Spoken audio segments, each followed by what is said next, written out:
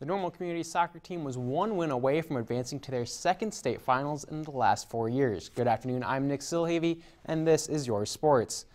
Normal West came out with the huge last minute victory and will take on Moline this Friday in the second round. Clocking in at number 12 last week, the tough second half loss to the Leathernecks dropped the Redbirds down five spots as they now stand at number 17 according to the Stats FCS Top 25. As we reach the end of March, we say goodbye to the buzzer beaters and Cinderella stories and say hello to opening day. A tough ending to such a great season, but still plenty to be proud of. Hats off to the birds.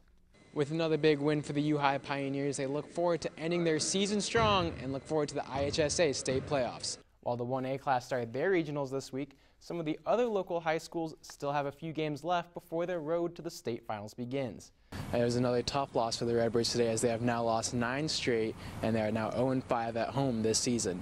The Redbirds used home field to their advantage while dismantling South Dakota over the weekend, but now face a tough road test in Youngstown State. It was a tough loss here for the Redbirds, but with plenty of conference games to go, they are not being counted out and are looking forward to getting back on track this season. Reporting for TV10, I'm Nick Silhavy.